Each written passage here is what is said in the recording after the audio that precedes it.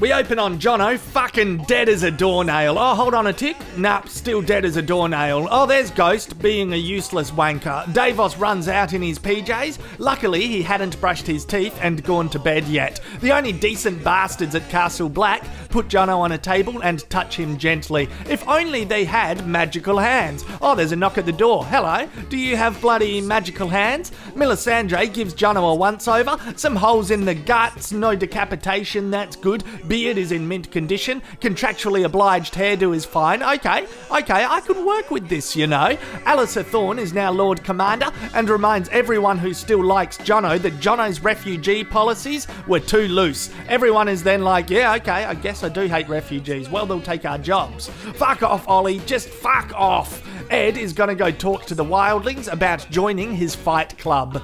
Ramsay cares about the death of Myranda for about three seconds. His dad then reminds him that without Sansa, he's a bloody piece of shit. Theon learns the benefits of having no balls. Ice cold water, not a problem. Sansa, on the other hand, is freezing her vag off. A bunch of Ramsay's best men find Theon and Sansa, but Brienne cuts through them like butter with the help of fucking Podrick 2.0. It's then decided that they should form a super team. Fuck yes. Cersei skips along like a happy new woman, but after sensing the death of her daughter, yeah, nah, she's gotta fuck some wankers up.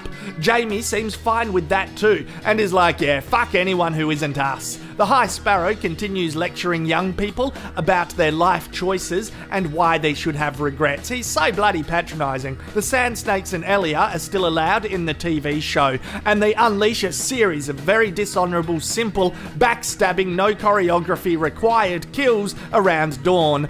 Tyrion and Varys go down to ground level to figure out what the hell is wrong with Meereen. There's homelessness, a religion outbreak, and a dash of arson at the yacht club. Meanwhile, Jorah the Explorer cops shit from Daario for being in Dany's friend zone while they search for her at a responsible leisurely pace.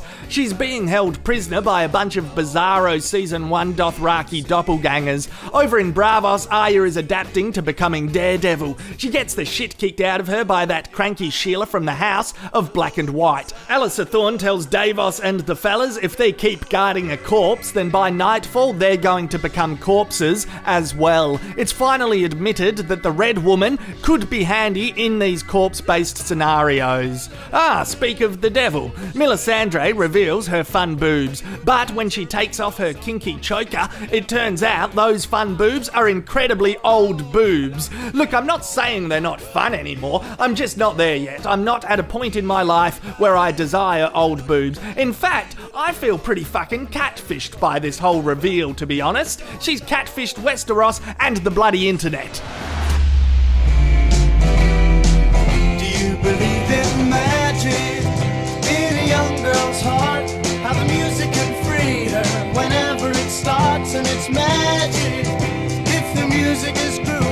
Uh, it's like a comfortable pair of shoes when Game of Thrones returns to the telly. You slip right back into them, they're so reliable. Definitely a few holes from wear and tear over the years, but they've taken you a long way and they are solid as fuck. This episode was solid as fuck.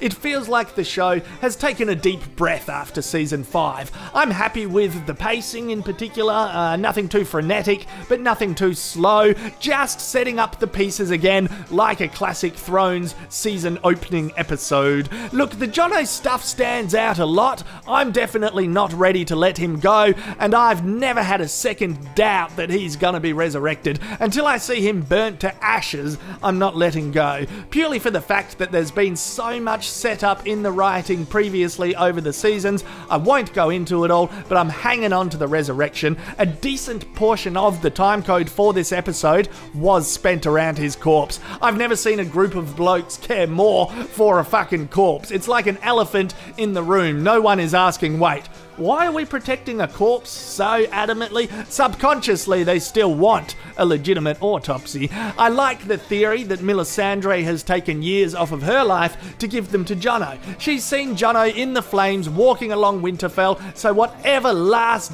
ditch thing she can do to make that vision a reality and get some credibility again, I reckon she's gonna do. Or she's just so depressed from being wrong about Stannis and Jono that she's curling up to die. She plays the scene with a lot of sadness, so maybe it's that simple, but let's wait and see. I reckon by mid season, these discussions of Jono being dead or not will have closure. I hope no one ever tells Gendry that he lost his virginity to a senior citizen. Anyway, other things happened in this episode, and I quite liked the other things. Brienne getting Stark validation is great. Podrick's sword training in the off season is fucking fantastic. Ramsay didn't piss me off too much in this episode. Seeing Ramsay pushed and challenged to mature is far more captivating than seeing him go from one gimmicky game playing scene to the next. I liked the Cersei and Jaime scene. We all know the Dorne stuff was dodgy last season. At least the plot accelerated majorly there.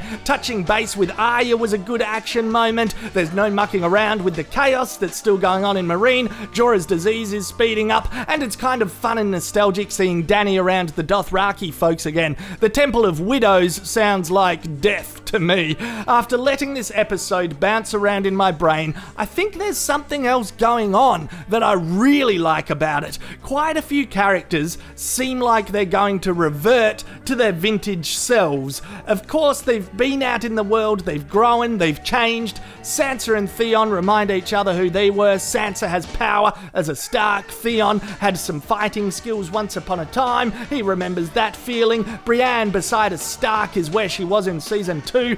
Jaime and Cersei consciously wanting to be fucking ruthless again is like becoming their vintage family orientated selves.